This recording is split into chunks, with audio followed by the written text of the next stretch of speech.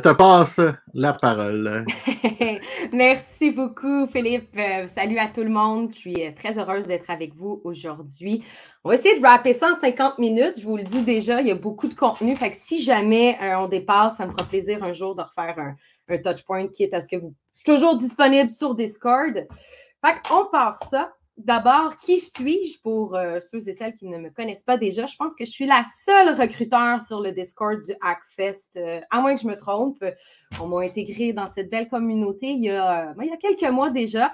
Puis euh, j'adore ça discuter avec des gens. Il y a beaucoup de, gens qui font de changement de carrière ou même des, new grads qui, ou qui vont éventuellement graduer. Dans les dernières semaines, derniers mois, m'ont quand même pas mal sollicité à savoir ben, comment on fait pour se trouver une job en TI, plus précisément en sécurité.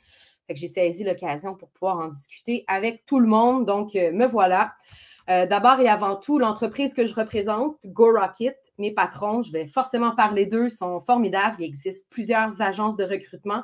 Je crois que la principale force de GoRocket, c'est le lien de proximité avec la communauté de talent. On aime ça être proche des gens, proche de nos experts. On aime grandir avec eux et les faire grandir.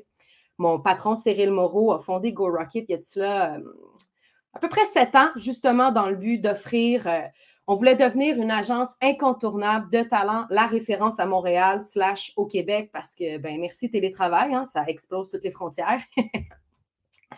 Moi, je suis devenue recruteuse il y a de cela quatre ans. J'ai commencé ma carrière dans le domaine administratif et euh, juridique. C'était vraiment pas pour moi. J'aimais le recrutement, mais je n'étais pas certaine d'aimer le domaine, même que ça m'avait fait douter de ma carrière euh, en recrutement finalement, ben, la vie étant ce qu'elle est, toujours euh, faite d'opportunités à saisir. J'ai rencontré les gens de chez Go Rocket, je suis tombée en amour avec eux. Je pense qu'ils sont tombés en amour avec moi et euh, ben, ça fait presque trois ans que je suis recruteur TI. Donc euh, voilà, aujourd'hui, je vais vous parler de, en fait, vous donner un petit aperçu de qui sont les donneurs d'ouvrages. On se demande souvent par où commencer quand on cherche un stage ou son premier job. il y a des donneurs d'ouvrages qui sont plus enclins finalement à donner des premières jobs, des premiers rôles, des premières expériences en TI ou en sécurité. On va regarder ça ensemble. Euh, comment approcher de potentiels employeurs? Souvent, on ne sait pas trop comment on doit faire. Il existe des vieilles mentalités, il y a des nouvelles mentalités, il y a plusieurs approches euh, qui existent. On va démystifier ça ensemble. Euh, aussi, je veux prendre un, certain temps pour vous parler de la justesse de votre première expérience parce que les premières expériences vont avoir une incidence dans tout votre parcours. Les, seniors qui sont avec nous en ce moment le savent. Ils ont commencé peut-être leur carrière en administration de système, en développement web. Aujourd'hui, ils veulent faire un switch en TI, euh, pas en TI, pardon, en sécurité. Fait toutes ces expériences-là ont toujours des incidences sur ce qu'on va aspirer comme job dans les années qui, suivent. Donc, on va regarder ça ensemble. Euh, on va faire un petit ABC très rapide du CV parce que honnêtement, juste comment vous expliquer faire un CV, on aurait pu en avoir ensemble pour au moins une heure juste là-dessus. Mais comme je le dis toujours, je reste toujours disponible pour les gens. Euh, de la communauté du Hackfest. Si jamais vous avez fait un CV, vous voulez euh, un avis d'un recruteur, moi, je, regarde des centaines de CV par semaine. Ça va me faire plaisir de vous donner des feedbacks là-dessus. Il y en a déjà plusieurs qui ne se sont pas gênés, qui sont venus me voir. Ça me fait toujours plaisir de vous aider. Euh, on va également discuter des erreurs que vous pouvez éviter après, est-ce qu'un stage, c'est payé, c'est pas payé? Hmm, c'est une question qui revient souvent, surtout si vous êtes sur LinkedIn, vous voyez souvent les fameux sondages revenir. On, va en parler un peu. Et euh, je vais vous donner aussi un petit aperçu du euh, salaire d'un junior ou d'un stage actuellement sur le marché. Évidemment, tout explose dans la dernière année, mais comment on va se positionner quand on cherche son premier job? Donc, euh, voilà. Je vais mettre ça à commentaires si jamais il y a des commentaires qui pop. Euh, comme ça, je pourrais répondre en temps réel. On va avoir aussi une petite partie à la toute fin sur euh, les questions. Donc, qui sont les donneurs d'ouvrage? Moi, je vous dirais que votre premier réflexe quand vous cherchez votre job, ça va être de, faire une espèce de roadmap, si vous voulez, des domaines où la sécurité slash protection de la donnée est vraiment un enjeu. Évidemment, mon premier conseil, ça va être de vous tourner vers le domaine financier. Salut Desjardins, on n'embarquera pas dans le sujet.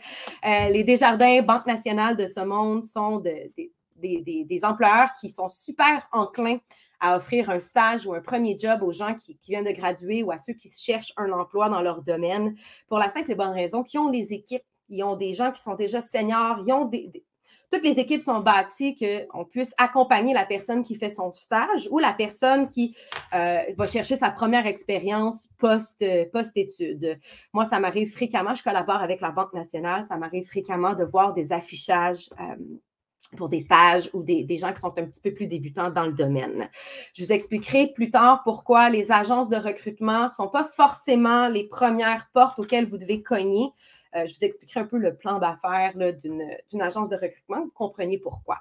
La fonction publique et les sociétés d'État, ça reste aussi d'excellentes euh, premières occasions. D'ailleurs, pas plus tard qu'hier, en faisant une petite recherche pour voir actuellement c'était où les stages puis les premiers, euh, les emplois de débutants, Hydro-Québec cherchait des stages en sécurité. Les sociétés d'État ont un peu comme le domaine financier, ils ont la structure et les ressources pour, de façon générale, former la relève. N'hésitez pas, surtout les gens de Québec, vous avez à portée de main toute la fonction publique. Après, c'est pas obligé de faire votre carrière là si vous vous aspirez à des domaines euh, un petit peu moins corporatifs, un petit peu plus start-up, PME.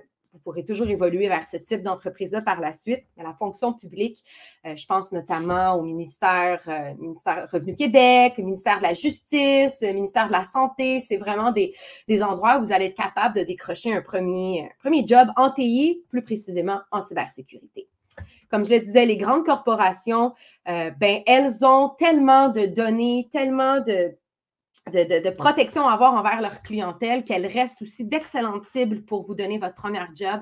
KPMG en cherche régulièrement. J'ai vu récemment Garda. Euh, Deloitte, peut-être Deloitte, Deloitte, prononcez-le comme vous voulez. Je ne porte pas de débat là-dessus aujourd'hui. Euh, Deloitte aussi reste des bonnes pistes. Il y en existe plusieurs grandes corporations. Je ne pouvais pas toutes les nommer. J'ai essayé de sortir les trois principales que je vois souvent passer sur les sites d'emploi. Euh, les firmes de consultation, mais à plus grande envergure. Moi, chez GoRocket, on est une, agence de recrutement.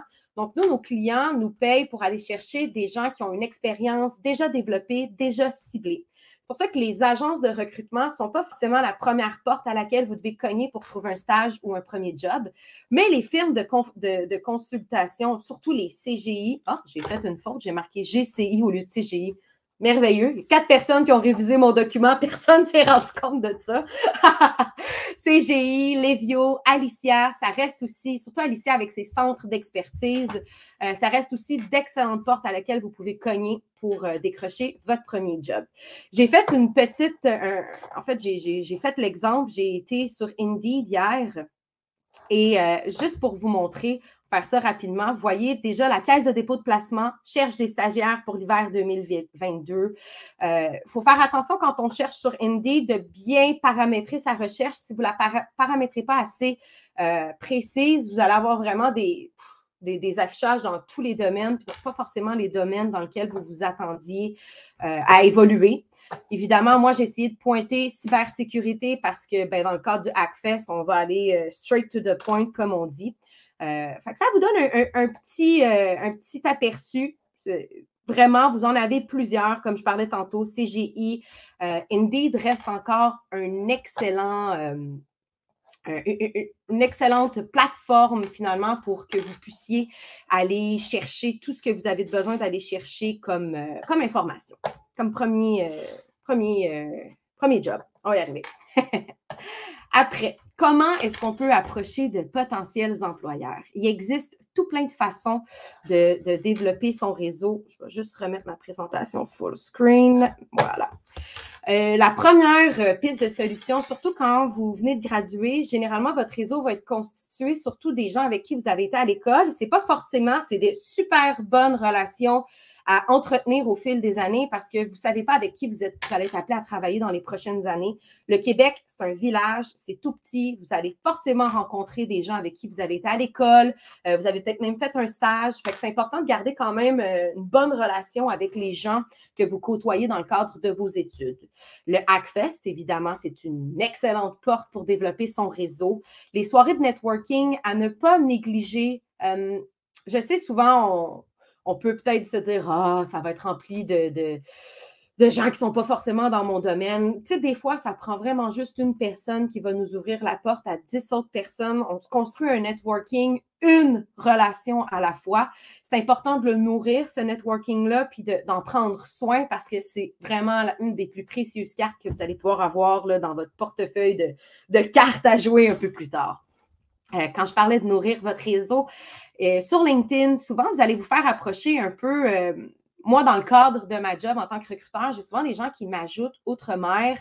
Ce n'est pas forcément le type de réseau que j'ai besoin d'avoir euh, des développeurs web euh, du continent européen ou ces choses-là, parce que dans le cadre de mes fonctions à moi, souvent mes, mes, partenaires, mes clients vont chercher des talents qui sont directement localisés ici pour un paquet de raisons. Des fois, il y en a que c'est parce qu'ils doivent être au bureau, il y en a d'autres que c'est par mesure légale, les employés doivent être physiquement au Canada ou d'autres carrément pour des subventions. Je pense aux PME qui ont besoin d'avoir un nombre d'employés, euh, je pense que c'est 10 minimal pour pouvoir avoir accès à certaines subventions. Donc, un peu pour vous aussi, ceux qui vont graduer, ceux qui cherchent des jobs, c'est important d'aller bâtir un réseau qui va être euh, lié à ce que vous cherchez. Allez ajouter, allez suivre des entreprises qui, euh, qui œuvrent dans le domaine que vous convoitez parce que ces entreprises-là vont souvent faire de l'affichage de postes ça va finir par apparaître dans votre fil d'actualité euh, sur LinkedIn. Il n'y a pas juste LinkedIn non plus qui existe pour grossir votre réseau, c'est juste que c'est lui le réseau professionnel par excellence. Euh, je pense à Discord. vous pouvez euh, embarquer aussi sur des communautés Slack. je pense à tout le monde UX, UI pour les gens qui sont un petit peu plus nichés en, design. C'est une excellente communauté dans laquelle il y a souvent de l'affichage. Euh, la, la, fameuse pointe de l'iceberg, c'est sûr que les jobs hélicos, les Indeed de ce monde vous permettent de voir la pointe de l'iceberg, mais la plupart des jobs intéressants vont se trouver en dessous, dans l'eau. Le super black market que vous ne voyez pas, c'est souvent là que vous allez décrocher euh, finalement la job de vos rêves, si vous me permettez l'expression sans être trop quétaine, ou votre premier stage. Euh, comme je le disais, Indeed, Job Illico, euh, pas juste pour aller chercher mais pour y aller, aller déposer votre CV là-bas. Il y a encore beaucoup d'entreprises qui vont aller faire de la recherche de talents via Jabilico, Indeed. J'ai pointé ces deux-là. Il y en existe vraiment tout plein.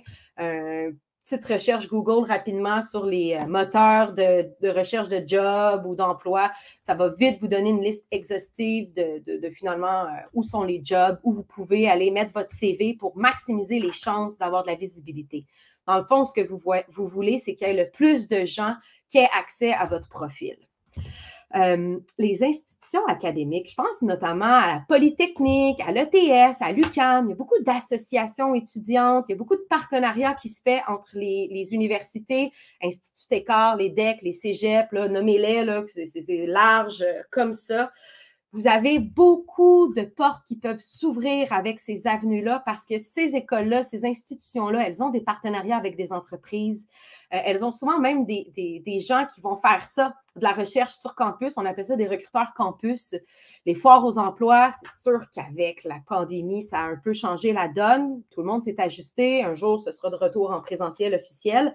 Ça aussi, là, écartez pas ça de, de votre euh, planification stratégique pour décrocher un stage ou un emploi. Les écoles, je sais que vous êtes tannés quand vous êtes sur les bancs, mais elles sont de précieux alliés. Ensuite, la sagesse d'un mentor.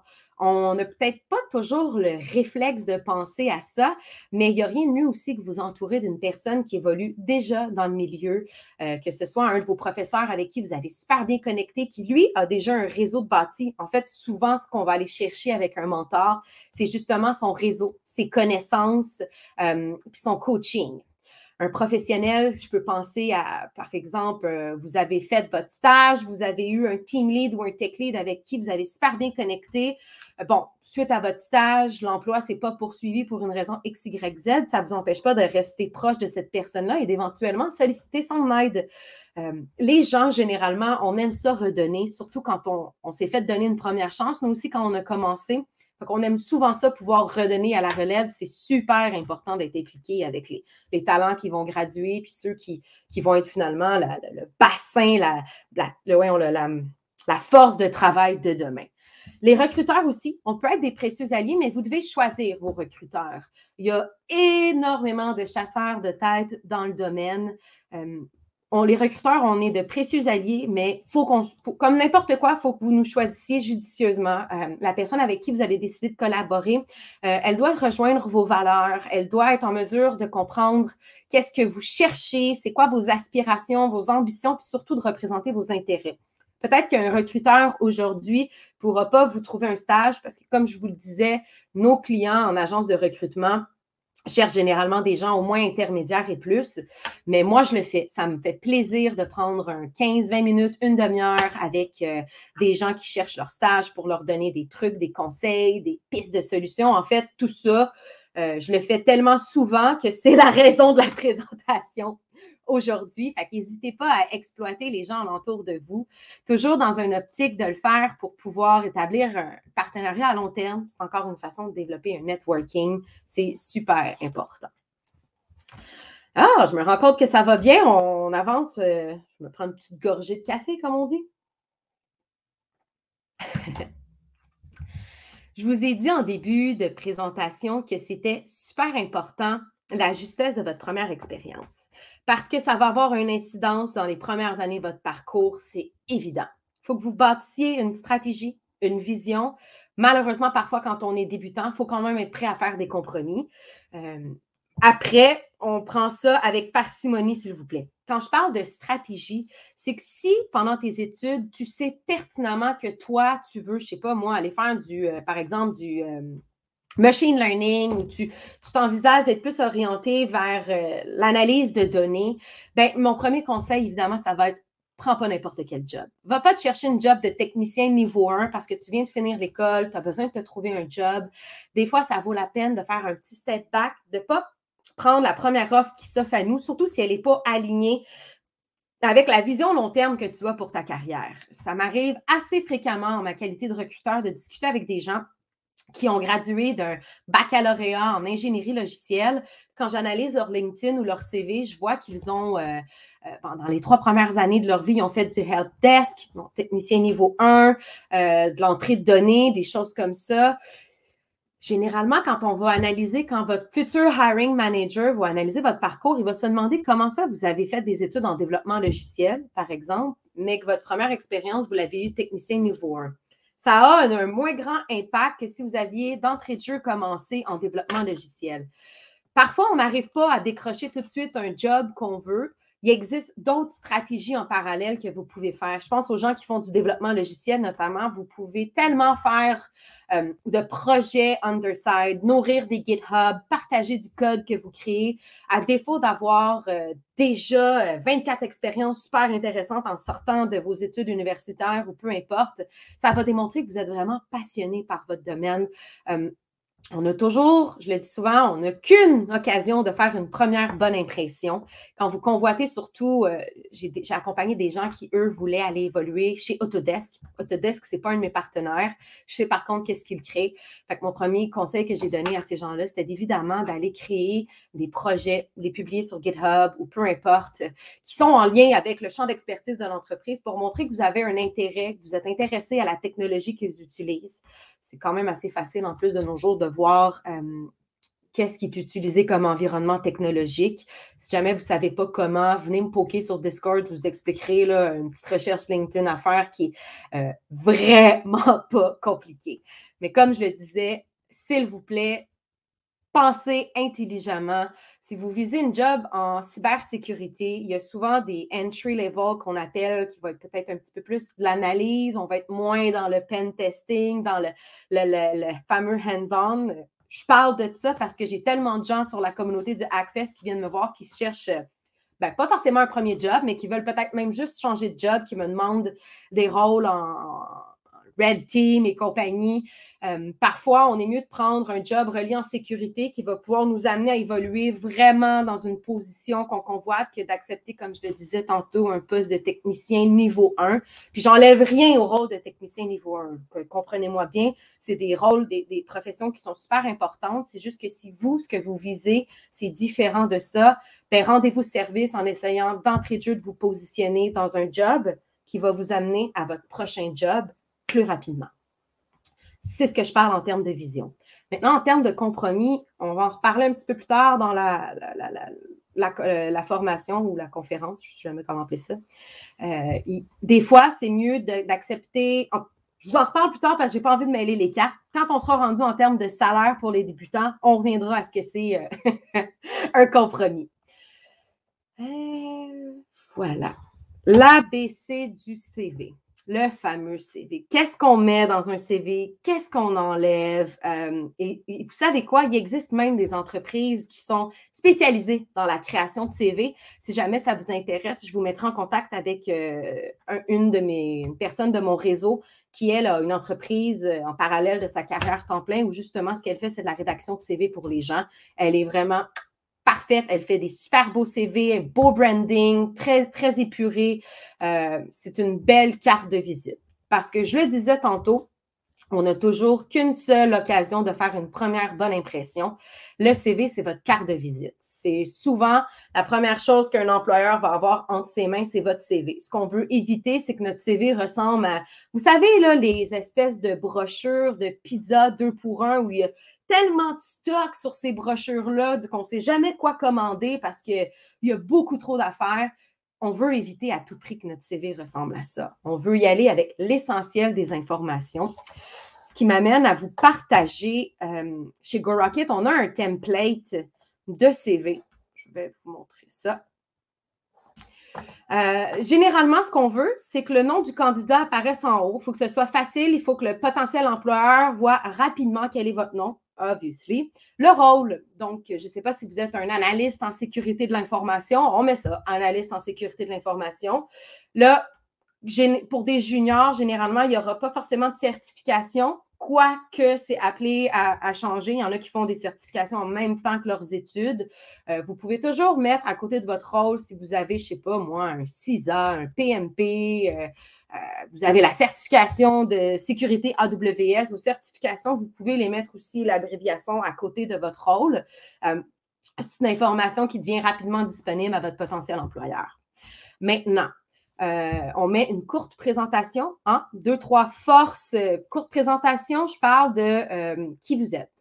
je suis fraîchement graduée de tel programme. on me reconnaît parce que j'ai un bon leadership. je gère bien la pression, peu importe, deux, trois forces qui vous représentent vous. Vos aspirations, vous aspirez à quel type de poste? J'aspire à évoluer dans un un rôle de, je ne sais pas moi, de gouvernance, euh, risque et conformité, vous le mettez là. Euh, évidemment, ça, vous essayez de le, personnaliser. Si vous postulez sur un rôle en GRC, comme je viens de le dire, mettez-le. Si vous postulez sur un rôle de pen testing, on, va mettre j'aspire à joindre une red team. Évidemment, il faut que ce soit conséquent, euh, etc. Après, on essaye toujours d'y aller straight to the point. Quand on est débutant, c'est sûr que notre CV ne fait pas huit pages, puis c'est correct. il y a certaines informations euh, que vous pouvez mettre qu'on a le réflexe de vouloir enlever, mais quand on est débutant, ces informations-là peuvent être euh, très parlantes, très criantes sur le type de personnalité qu'on est, puis sur le, type d'implication qu'on a faite euh, parascolairement parlant. Je me permets d'inventer des mots. Quand je parle de compétences techniques, c'est sûr que euh, le langage, bon, les langages de programmation, là, ça, ce, CV-là n'est pas forcément fait pour des gens en cybersécurité. C'est un template générique. Moi, je collabore le plus souvent qu'autrement avec des développeurs. Fait tout ce qui est compétences techniques est très important pour les, euh, potentiels employeurs. On va y aller comme ça. Les langages, bon, euh, Java, Node, JavaScript, Golang, Python, Ruby on Rails, peu importe, vous mettez les langages que vous connaissez, les bases de données que vous maîtrisez, avez-vous des connaissances en cloud, maîtrisez-vous des CMS, des outils euh, Docker, Kubernetes, peu importe, les environnements technologiques dans lesquels, euh, lesquels vous maîtrisez, c'est-tu euh, Linux, Windows, peu importe, et la méthodologie, si vous êtes habitué, si vous on vous a appris l'agilité, le waterfall, Kanban, Scrum, peu importe, c'est des méthodologies. Les pratiques DevOps aussi sont en train de devenir une méthodologie, le fameux CI/CD, mais bon, pour en faire un, autre talk à un moment donné. Ensuite, les expériences professionnelles. C'est évident que si vous n'avez encore jamais de d'expérience professionnelle en lien avec la cybersécurité, on va mettre les expériences pertinentes les plus, les expériences professionnelles les plus pertinentes. C'est peut-être pas super pertinent de mettre que vous avez gardé des enfants de l'âge à 12 à 14 ans. Par contre, que vous ayez été animateur de camp de jour, euh, vous avez travaillé deux ans sur un corps à temps partiel chez McDonald's, peu importe, ces petites expériences professionnelles-là sont quand même assez intéressantes. Elles démontrent que euh, vous êtes... Euh, il y a une, certaine stature professionnelle qui est intéressante à avoir sur un CV. vous avez, je ne sais pas, fait des scouts, peu importe. Il y a toujours façon de... Tout va être dans la présentation, comment vous amenez ça? Après, un jour, quand ça va faire cinq ans que vous évoluez dans le domaine, ces expériences-là, avant de faire votre carrière, vont, être appelées à s'effacer. Moi, je parle, je vois des CV de gens que ça fait six ans qu'ils sont dans le domaine, puis je vois encore animateurs, euh, camp d'été. Plus forcément pertinent un coup qu'on a des expériences assises dans notre domaine, dans notre carrière. Si jamais vous voulez ce template-là, ça va me faire plaisir de vous le partager. Évidemment, j'enlèverai le branding de, mon entreprise parce que ce ne sera pas forcément utile pour vous.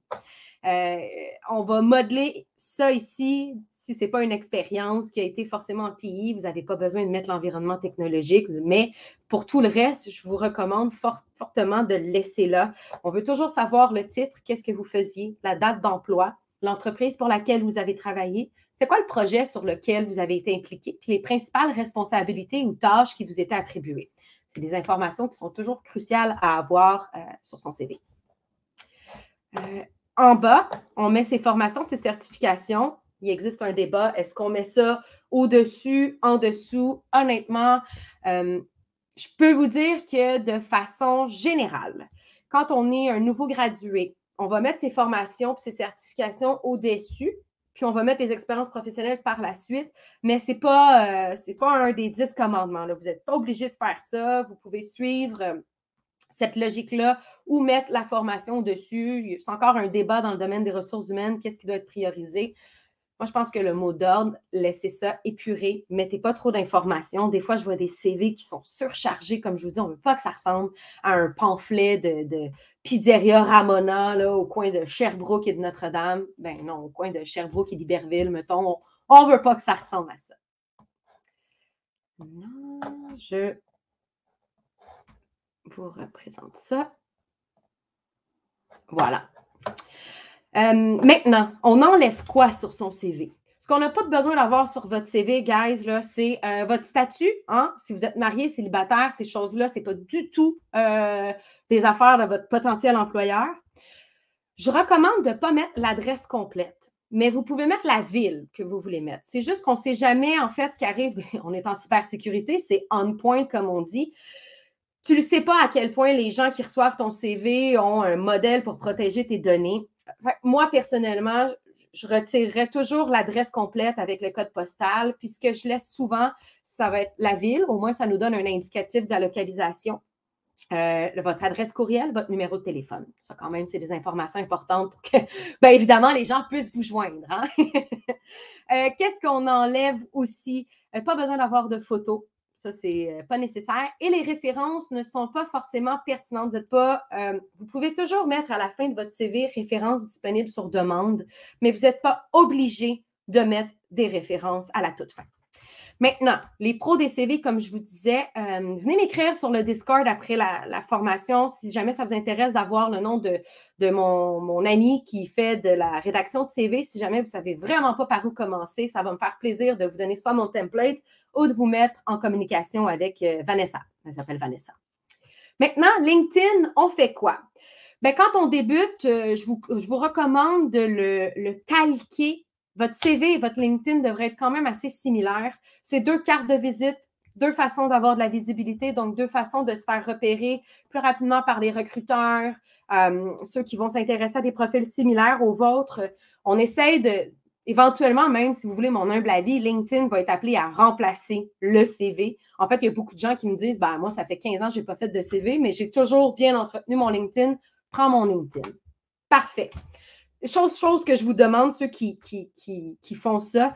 Euh, vous savez, à la fin des profils LinkedIn, on a les compétences. Quand on importe son CV en PDF, ces compétences-là ne sont pas attachées à l'importation PDF de notre profil LinkedIn. C'est important de mettre votre environnement technologique pour chacun des postes également dans chacune de vos expériences LinkedIn. Autrement, on n'aura aucun indice sur quels sont les environnements technologiques dans lesquels vous avez évolué. Évalué, évolué, oui. Voilà. Les erreurs que vous pouvez éviter, sérieusement, si vous pouvez vous éviter d'entrée de jeu de vous mettre les pieds dans le mot qui commence par M, faites-le. Vous allez juste, euh, vous allez juste vous aider. Manquer d'organisation, c'est souvent la principale euh, erreur que je relève chez les, gens qui vont chercher des emplois. Et là, euh, tout niveau d'expérience confondu, débutant, intermédiaire, senior. je parle avec des gens qui se mettent en recherche d'emploi ils savent plus où ils ont postulé. Ils savent pas euh, Ah ouais, j'ai déjà envoyé mon CV chez Desjardins, je m'en souviens pas, sûrement. Ça peut devenir problématique éventuellement parce que là, vous allez parler avec des gens, vous saurez plus qui a reçu son CV, qui, est-ce que j'ai déjà envoyé à cette personne, est-ce que je l'ai pas envoyé? ça devient très chaotique. Faites-vous un fichier Excel, un fichier Word, peu importe si vous êtes vieille école, vous voulez un cahier, euh, cahier Canada, on s'en fout du moment que vous gardez une trace écrite, physique ou digitale, des endroits où vous avez envoyé votre CV, à qui vous l'avez envoyé et faire un suivi aussi. En fait, plus vous êtes organisé, plus ça va vous permettre de faire un suivi. Vous avez le droit, hein, si vous envoyez votre candidature, euh, je ne sais pas, on va prendre encore l'exemple de Desjardins, envoyez votre candidature lundi, rendu au jeudi. Si vous l'avez envoyé en plus dans une adresse courriel, pas dans les espèces de gros systèmes RH dépersonnalisés, si vous avez envoyé ça directement à quelqu'un, vous avez le droit de faire un suivi après quelques jours. Bonjour, je fais un suivi concernant ma candidature. Euh, est-ce que mon profil vous intéresse pour vos besoins actuels? XYZ. Vous avez très bien le droit de le faire. Gardez-vous toujours un 24 à 48 heures, surtout pour les rôles euh, de débutants ou les stagiaires. N'oubliez pas que les entreprises reçoivent énormément de profils. Il faut quand même laisser un certain temps aux gens en acquisition de talent ou en ressources humaines de faire le tri des candidatures.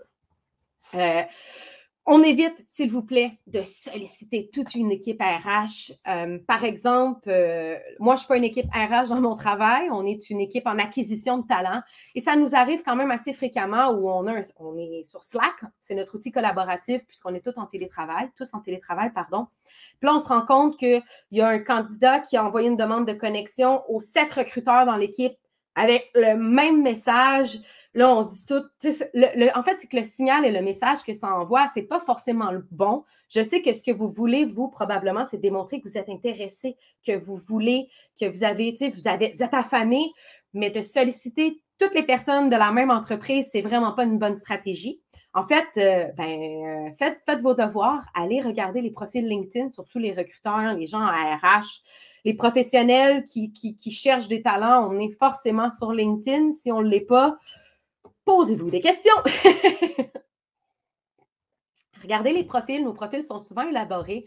Euh, et, spotter peut-être une ou deux personnes, dépendamment de la grosseur de l'équipe RH. S'il y a 150 personnes, vous pouvez vous permettre d'approcher trois personnes. S'il y a 6, 7 personnes dans l'équipe RH ou acquisition de talent, euh, ben, mon conseil, c'est d'en approcher une ou deux, juste de maximiser les chances euh, de votre côté. Après, on essaye, gang, de ne pas être submergé par les processus. en fait, c'est que c'est très comprenable. Vous cherchez votre stage, vous cherchez votre premier job, vous voulez pas que ça niaise. Vous avez une certaine pression de devoir vite vous placer. On comprend tout ça. Mais si vous vous mettez à être dans sept processus en même temps, ça, ça va, vous allez vite devenir dépassé par, euh, par les processus. Surtout que les processus, bon, peut-être pas pour un stage, un stage, c'est un petit peu différent, euh, mais je parle souvent avec des gens qui sont dans 6-7 processus en même temps, puis ça devient, là, on, devient vite, euh, on a l'impression de se noyer, parce que pour une entreprise XYZ, vous allez avoir sept étapes avant d'arriver à l'étape de l'offre. Pour d'autres entreprises, vous allez avoir un appel, un test technique. C'est assez aléatoire. Il n'y a pas d'entreprise qui a le même processus, le même roadmap de recrutement qu'on appelle dans mon jargon. Alors, c'est important de vous choisir, si, vous êtes appelé à avoir plusieurs processus, choisissez les processus qui vous intéressent le plus avec les entreprises et les postes qui sont le plus alignés à vos aspirations. Moi, je vous dirais que le chiffre magique, dépendamment de ce que vous êtes capable de, de gérer comme pression puis comme charge de travail, deux, trois, maximum, le temps aussi de vous familiariser avec les différents processus. Surtout quand on commence, ça peut être une grande source de stress, d'anxiété. Euh, Faites-vous-en pas. La plupart des, gestionnaires sont conscients de ça, surtout quand on débute, surtout quand on est nouveau. Ce n'est pas tout le monde qui est à l'aise de faire des entrevues. On en est très, très bien conscient. En tout cas, moi, quand je parle avec des gens, j'en suis très consciente. Euh, fait, fait, là, de deux, trois, on devrait être correct comme ça. Ne pas être préparé, c'est vraiment pas vous rendre service, gang. Premièrement, ça va paraître. Après, comme je vous l'ai dit, on a le droit d'être stressé, mais il y a une différence entre être stressé et ne pas être préparé. Vous pouvez être préparé puis quand même être stressé, mais quand même, généralement, mieux on est préparé, moins on est stressé. Euh, ça va démontrer. Quand je parle de préparation, c'est du genre, vous avez trouvé, on reprend l'exemple de, Desjardins. Je ne sais pas pourquoi Desjardins, c'est facile. En fait, c'est parce que je sais que Desjardins, c'est vraiment un très, très bon donneur de stage et d'emploi de, pour les débutants. Euh, c'est facile de faire une recherche sur, euh, sur l'entreprise, surtout qu'elle est évidemment très présente partout sur, euh, dans le merveilleux monde numérique. Faites une recherche sur souvent le poste, on relit la description de poste, on se prépare sur les questions techniques qu'on connaît un peu moins. Les outils techniques, je ne sais pas, par exemple, euh, dans la team qui va vous passer en entrevue, ils utilisent Jira comme euh, outil collaboratif. Vous ne savez pas ce que c'est Jira. Euh, avant, avant l'entrevue, on se prépare. On va aller se renseigner là-dessus. Vous n'avez pas besoin d'être des subject matter experts dans tout. Par contre, ça va toujours faire une bonne impression si vous arrivez en entrevue puis vous dites, écoute, moi, je n'ai jamais utilisé Docker encore, mais je m'intéresse à cette technologie-là. Donc, j'ai commencé à faire mes devoirs, je vais passer une certification, peu importe. Ça fait vraiment une très, très bonne impression. Ça démontre non seulement que vous êtes intéressé, mais que vous êtes passionné par votre domaine, qui sont toujours deux impressions qu'on veut donner à un potentiel employeur, potentiel équipe avec qui on veut évoluer. Dans la préparation, il y a également, c'est stupide, mais on essaye toujours d'être deux, trois minutes avant l'heure de la rencontre. Si c'est en visioconférence, on s'arrange que notre micro, que notre caméra fonctionne bien. Euh, on essaie d'avoir un bon flux d'Internet aussi. Là, si jamais euh, votre bande passante est sursaturée, ça se peut que ça lag ou peu importe. Vous savez très bien quoi faire pour que euh, la visioconférence se passe bien. En présentiel, on arrive un 5 à 10 minutes d'avance, juste histoire de pouvoir, si on a besoin de passer, c'est stupide, là, mais si on a besoin de passer à la salle de bain avant, si peu importe la raison, on essaie toujours d'être là un 10 minutes d'avance de notre date de, notre heure de convocation Convocation. Continue de boire du café. Oui, oui, il y a vraiment juste du café dans mon café, pas de Baileys là-dedans. Salut, Pat! Après, à proscrire, gang. On ne donne jamais de référence professionnelle si on n'a pas avisé au préalable ces gens-là. Euh, quand on cherche un stage, une première expérience, forcément qu'on n'a pas un carnet de 25 pages de références professionnelles. Euh, un prof qui vous a, euh, qui a encadré un projet de fin d'études, une personne avec qui vous avez fait un stage, une personne avec qui vous avez un ancien gestionnaire, même si ce n'est pas dans le domaine dans lequel vous évoluez, et vous voulez évoluer, il faut toujours aviser ces personnes-là. Toujours, toujours leur dire, écoute, est-ce que je peux te donner en référence, euh, quelqu'un va t'appeler pour euh, X, Y raison. Toujours, toujours, toujours les aviser parce que ça arrive encore fréquemment que je vois des gens qui n'ont pas avisé leurs références. On prend les références professionnelles, puis c'est vraiment pas rendre justice à la personne parce que, premièrement, la référence, ça la choque de ne pas avoir été avisée la plupart du temps. Elle n'était pas préparée pour ça. Il y a des bonnes chances que si ça fait plusieurs années, elle ne se souvienne pas de vous. Ça, c'est un petit peu awkward. Ou carrément qu'elle ne donne pas des bonnes références. Ça arrive, ça. Fait qu'il faut que vous ayez avisé la personne euh, pour qu'elle aussi, elle puisse se préparer à donner de bons mots à votre sujet parce que c'est encore monnaie courante, la prise de référence professionnelle.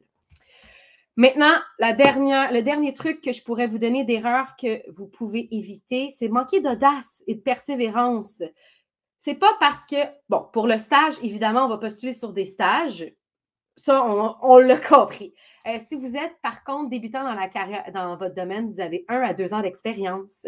Euh, vous passez au travers les différents sites d'emploi. Vous ne savez pas trop. Euh, c'est marqué qu'on cherche trois à cinq ans d'expérience. Fait que vous manquez d'audace. Dites, oh non, je suis trop junior, ça ne passera pas. Non, non.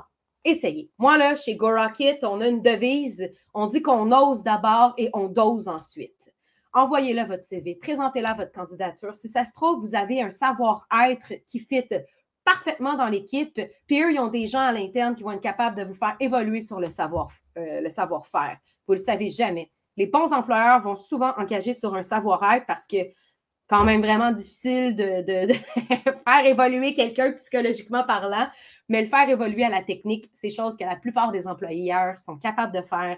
Donc, allez-y, gênez-vous pas. Après, évidemment, on ne postule pas sur un rôle de directeur TI si on cherche son, son premier job, mais à quelques années près, si vous considérez que vous possédez au moins la moitié des compétences requises, allez-y, foncez. Au pire, euh, vous aurez démontré votre intérêt. Ça ne veut pas dire que ça va fonctionner, mais on ne manque pas d'audace. On ose d'abord et on dose ensuite. Il faut faire preuve de persévérance aussi. Quand on cherche son, stage, son premier job, euh, c'est très, très rare qu'on réussisse à faire un coup de circuit, qu'on envoie un CV, on se fait appeler, on a un stage, on a une job. Si jamais ça vous arrive, vous êtes mûr pour un 649, sérieusement, allez vous en chercher un. Mais autrement, il faut faire preuve de persévérance. Euh, il ne faut pas lâcher prise. C'est l'espèce de chemin de croix qu'on doit faire, mais après ça, faites-vous-en pas. Au bout de deux, trois ans dans votre domaine, vous ne saurez plus comment dire au recruteur Je ne suis pas intéressé à changer de poste. Ça va venir, faites-vous-en pas. Maintenant, les stages, c'est payé ou c'est pas payé? Il y a quand même encore un euh, discours dichotomique dans la communauté, à savoir est-ce qu'on paye un stage, est-ce qu'on ne paye pas un stage. Euh, moi, j'ai une opinion très personnelle là-dessus. Je considère que, euh, et là, là, je me retire, c'est même pas mes employeurs, c'est pas, je ne parle pas au nom de Go Rocket, je parle vraiment au nom de Caroline Boulet. Personnellement, je crois que les stages doivent être payés pour la simple et bonne raison qu'on vient de passer souvent au travers une formation universitaire, une formation collégiale. On a déjà fait ce bout de chemin-là où on, on se fait former, on apprend, des choses en payant pour se faire former. Euh, d'entrée de jeu, quand on rentre sur le marché du travail, on a souvent des dettes étudiantes, on a des appartements payés. C'est pas tout le monde qui habite encore chez ses parents ou qui a la chance d'avoir accès à des prêts et bourses. On a besoin de vivre, on est allé manger des nouilles au beurre. That. Je pense que les stages devraient être payés. Après, posez-vous la question. Est-ce que pour vous, c'est important d'être payé pour un stage ou ce n'est pas, dépendamment de votre situation? Si vous pouvez vous permettre d'avoir un stage dans une entreprise qui vous, sur laquelle vous capotez, mais qui ne paye pas pour un stage, puis que vous pouvez vous le permettre, ça vous appartient honnêtement. Ce que je peux vous dire, par contre, c'est que la tendance du marché en 2020, elle est quand même majoritairement sur les stages rémunérés, surtout en technologie de l'information, TI, cybersécurité. La plupart du temps, vous allez être payé, surtout par euh, les grandes corporatives ont les moyens de vous rémunérer. Peut-être que les petites entreprises n'ont pas forcément la force euh, économique de vous rémunérer. Toujours moyen de moyenner, comme je vous dis, c'est du cas par cas. Mais sachez quand même que là, j'ai marqué en 2020, on est rendu en 2021, une autre coquille que personne n'a vue. Euh, le pire, c'est que j'ai fait cette euh, présentation-là il y a deux jours. Fait qu'on était quand même en 2021. Sachez que 2020-2021, on s'en fout. La tendance reste quand même que la plupart des stages sont rémunérés. Maintenant, quel est le salaire d'un junior ou d'un stagiaire? Euh, pour les stagiaires, c'est vraiment très, très, très relatif. Je n'ai pas vraiment trouvé de données pour appuyer ce que je voulais énoncer aujourd'hui. Encore là, pour les stages, c'est du cas par cas, dépendamment si c'est un stage en entreprise, sa durée, qui vous donne le stage, c'est un stage de fin d'études, un stage d'observation. C'est vraiment du cas par cas. Puis souvent, la rémunération du stage va être en lien avec le type de stage que vous allez décrocher. Fait je ne voulais pas vraiment m'avancer là-dedans pour créer de fausses attentes, fausses, euh, si jamais vous avez un doute, que vous pensez que le stage pour lequel vous avez appliqué n'est pas assez rémunéré ou quoi que ce soit, vous pouvez toujours venir me voir, on va en discuter, puis on va essayer de voir si en effet il y a une erreur d'affichage. Ça arrive. Je pense à quelqu'un qui m'a écrit récemment qui a finalement décroché son stage, puis il vient me voir, puis il me dit Mais là, je ne comprends pas, je suis quasiment payé le salaire minimum alors que c'est mon deuxième stage. Euh, on a établi une stratégie ensemble. Cette personne-là, elle a écrit à son superviseur de stage qui, au final, il a dit Ben oui, tu as raison, ce n'était pas le bon taux horaire comme je vous dis, toujours moyen de moyenner. Maintenant, le salaire moyen d'un junior sur le marché actuel. Je vous ai sorti des données canadiennes et des données québécoises. Mes données canadiennes, je les ai trouvées sur le site talent.com, euh, qui est quand même un outil que j'utilise assez fréquemment parce que euh, ça, fait quand même une bonne médiane. Pas de la science infuse, c'est des statistiques. Les chiffres, on peut toujours les faire parler comme on veut. Il y aura toujours une, une exception en plus de quelqu'un qui travaille pour une entreprise américaine qui se fait payer en dollars américains ou quelqu'un qui travaille pour une très, très, très petite entreprise qui n'ont pas les moyens d'accoter les compagnies américaines. Fait on y va vraiment avec le gros bon sens. Euh, dans le domaine de. Moi, j'ai vraiment été chercher pour la sécurité informatique parce que pour les TI, c'est drôle, la moyenne annuelle était de 65 000, alors que la moyenne en sécurité, elle est de 71 000. Les TI, c'est une niche, puis dans, cette niche-là, il y a une autre niche qui est la sécurité.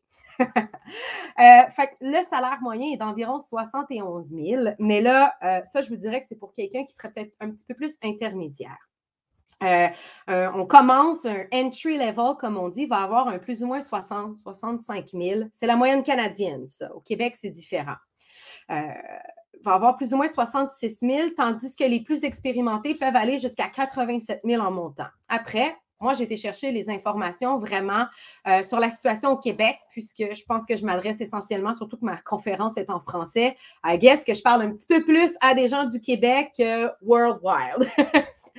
au Québec, un débutant en cybersécurité va, toucher plus ou moins 55 000 L'intermédiaire est à 65 000, puis pour les seniors, on est vraiment à du 85 000.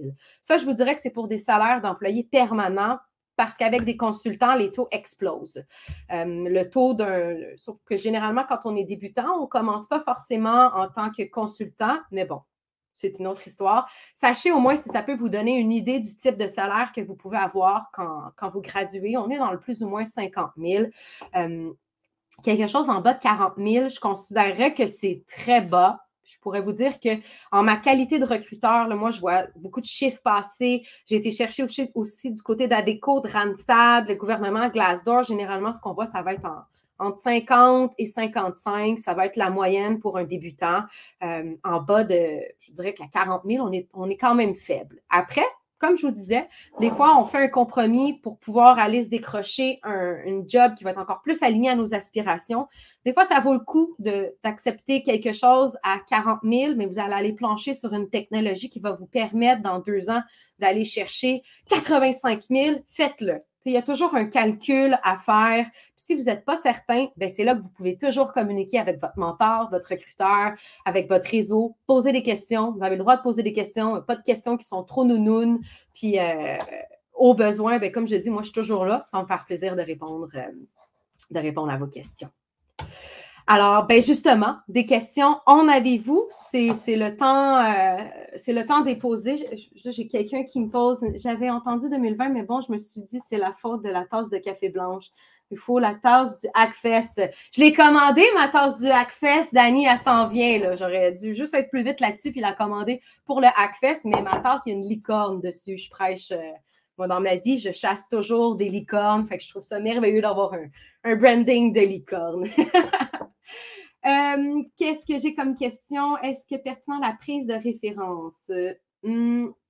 Ben, comme je le disais, la prise de référence, elle est pertinente surtout euh, si, si, la personne va être capable de donner des bons mots pour vous. Quand on est junior, c'est rare quand même qu'on se fait demander des références. on ne sera pas de cachette, mais ça peut arriver. Fait que peu importe, si jamais on vous demande ces références-là, le mot d'ordre, c'est vous les aviser. Euh, c'est une exigence de certains programmes d'avoir un stage payé. Oui, il y a des universités.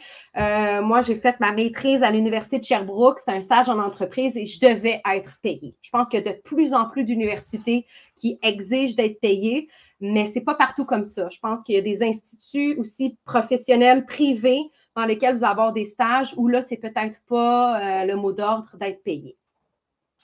Euh, on me demande Bonjour, je suis français et pas habitué aux attentes québécoises. Est-ce qu'on envoie aussi une lettre de motivation avec le CV Ah, la fameuse lettre de motivation. Euh, elle peut toujours être, euh, être intéressante. Après, est-ce que c'est toutes les personnes qui vont lire les lettres de présentation? c'est un débat qui perdure et qui perdure dans le monde. Si vous considérez que c'est une chance pour vous de faire une bonne, bonne impression, faites-la. Je sais que les ministères, la fonction publique aiment beaucoup ça, recevoir des lettres de présentation. Euh, ça va être du cas par cas. Si vous faites une lettre de présentation, n'oubliez pas de la personnaliser à chacune. Euh, à chacun des employeurs potentiels à qui vous allez l'envoyer. Je veux un poste chez Hydro-Québec parce que telle raison, nanana. Faut vraiment la personnaliser. Combien de temps avant le stage on devrait faire la recherche? Euh, vous devriez, vous prendre quand même assez d'avance. On ne prend pas deux mois d'avance, euh, mais un bon six mois. Si vous cherchez, en ce moment, si vous avez besoin d'un stage au printemps, c'est le temps là, de chercher vos stages pour l'hiver 2022. Je les vois d'afficher en plus, comme j'ai montré tantôt euh, sur Indeed. Avez-vous une idée des salaires dans la région de Toronto? Euh, comme le coût de la vie à Toronto est un petit peu plus élevé, je ne suis pas spécialiste euh, des différentes régions canadiennes, malheureusement. Par contre, vous pouvez toujours aller voir sur le site euh, ca.talent.com. Tantôt, ce que je vous ai donné, c'était la moyenne canadienne. venez m'écrire sur Discord, il reste une minute. Tantôt, je vous donnerai mes liens pour aller faire une moyenne. Vous pouvez chercher via Indeed. J'ai un site qui est un petit peu plus spécialisé pour le Québec. Mais à Toronto, forcément, ça va être un petit peu plus élevé pour la simple et bonne raison que le coût de la vie est plus élevé euh, que le Québec. Voilà. Je vous remercie vraiment à tous d'avoir euh, d'avoir été là. J'espère que ça, va, ça vous a aidé. J'espère que ça va vous être utile. Euh, moi sur Discord, écrivez-moi un courriel, ajoutez-moi sur LinkedIn. Ça va me faire plaisir de me rendre disponible euh, pour répondre à vos questions, pour vous épauler. Moi, j'adore travailler avec vous parce que je sais que c'est une belle collaboration sur du long terme qu'on établit ensemble. Je vous remercie encore, et je vous souhaite un sapristi bon hackfest pour euh, les temps qui restent.